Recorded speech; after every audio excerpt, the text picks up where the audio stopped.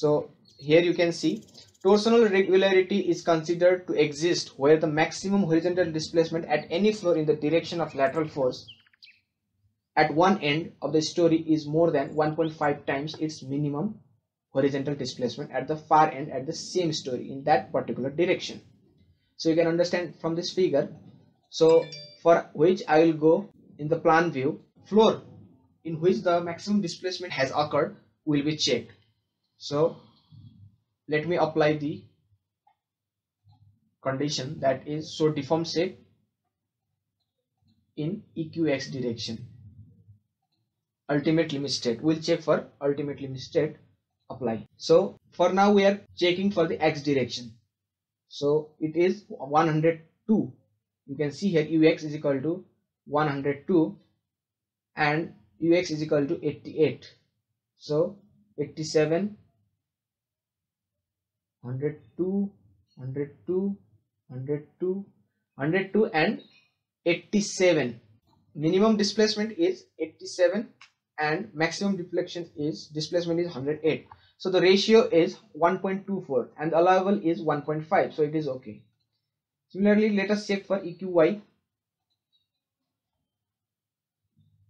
85 now we have to check for ey 108 108 and 85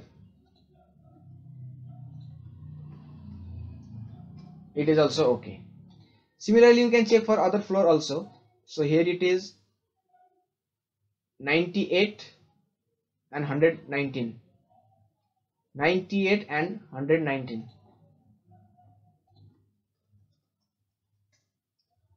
so it is also okay you can also check if there is torsional irregularity in the building or not through the deform shape under modal load case the first two modes shall be translational and the third mode should be rotational.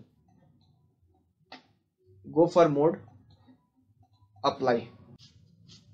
So you can see this is somehow translating in y direction.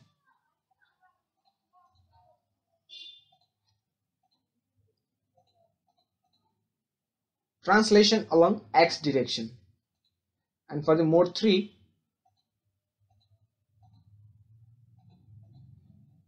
it is rotating. And that is what we want. So basically the first two modes shall be translation and third mode shall be rotational. You can compare this from the modal mass participation as well. So go to modal mass participation.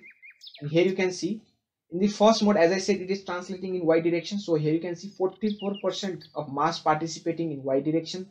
In the second mode it was translating in x direction. So here you can see diagonally in y direction x direction it is 53 that is mass participation in x direction. And in third mode as i said it is rotating.